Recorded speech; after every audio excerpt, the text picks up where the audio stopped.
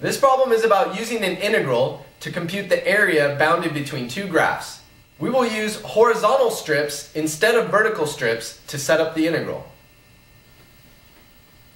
Compute the area bounded between the x-axis and the graphs of f of x equals x to the 1 half and g of x equals x minus 2. Whenever doing a problem about the area between two graphs, it is crucial to have an accurate picture. It does not have to be perfect, however, you need correct intersection points. We need to find the intersections of the graphs of f and g. What that means is we must solve this equation, f of x equals g of x. What that says is x to the 1 half is equal to x minus 2. We bring everything to one side, which gives us this line. To solve this equation, it will be easiest if we can factor this. You should be used to factoring quadratics, but this may look a little bit funny. However, we can still factor it.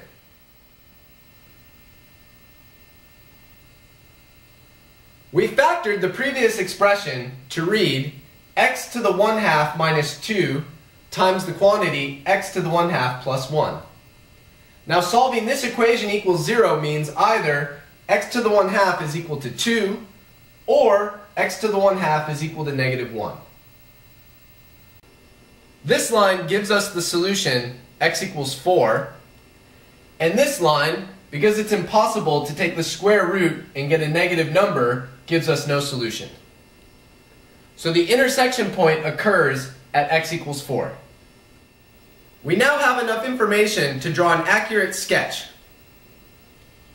In red, we have a sketch of the graph of f of x, which is x to the 1 half. In black, we have a sketch of g of x, which is x minus 2. We computed the intersection point to happen at x equals 4, and the y-coordinate is 2. Now that we have a good picture, we can actually think about what the problem asked us to do. Here is the region bounded by the graphs given and the x-axis. It is our job to compute the area of this region. What that means is we need to use the integral. Whenever computing the area between two graphs, you have two choices to set up an integral. You can use vertical strips, which corresponds to dx, or you can use horizontal strips, which corresponds to dy. Let's look at the two pictures and see which one is best for us. The first choice is to use vertical strips. In the picture, these strips look like this, where they have a very narrow horizontal component, which is dx, and the height is determined by the region. Notice that if we take vertical strips, we have two different segments. Here, the height is determined by f and the x-axis, but here, the height is determined by f and g.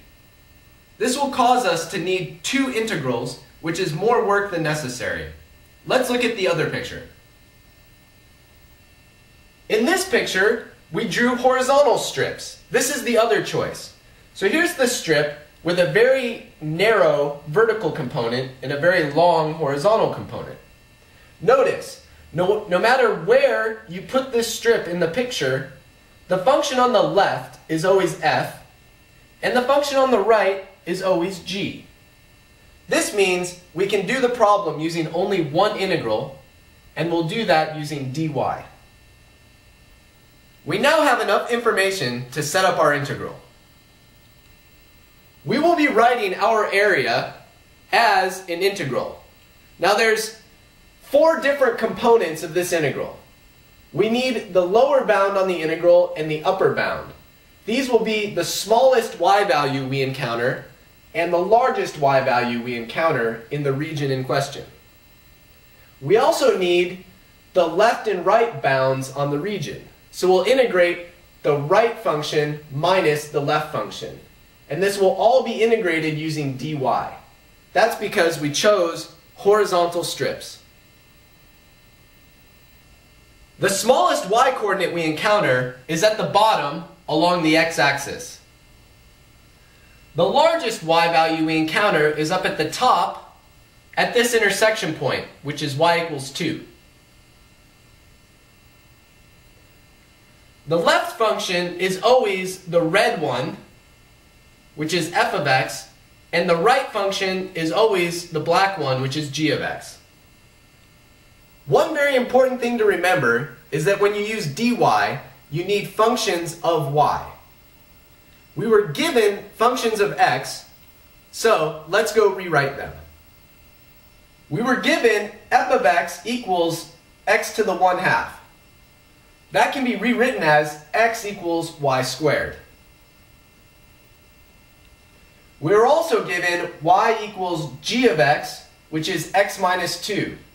That can be rewritten as x equals y plus 2. Now we can put in our expressions for the right function and the left function and compute the integral. Our integral now reads, the area is equal to the integral from 0 to 2 of y plus 2 minus y squared. This was the right function, this was the left function. To compute the integral, we antidifferentiate this expression, which gives us 1 half y squared plus 2y minus 1 third y cubed. And we're going to evaluate that between 0 and 2. We plug in the upper limit and the lower limit of integration and take the difference. The lower limit is 0, which gives 0, and so we're left with 1 half times 2 squared plus 2 times 2 minus 1 third times 2 cubed. This all simplifies to 10 thirds.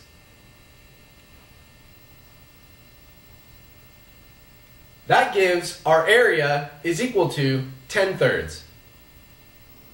Let's do a quick recap.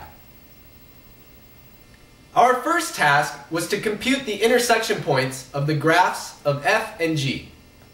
We needed to solve f of x equals g of x, which led to this equation, and we factored it to get the answer x equals 4. Next, we drew an accurate picture correctly depicting the intersection point at x equals 4 and y equals 2. We decided to use horizontal strips in the picture, which corresponds to dy. That required us to solve for x as a function of y. Finally, we set up an integral to compute our area.